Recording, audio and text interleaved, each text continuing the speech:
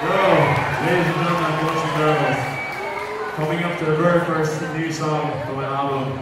It's called Lily, collaboration between me and K-391 and Emelie Hollow. Hope you guys enjoy. Thank you so much.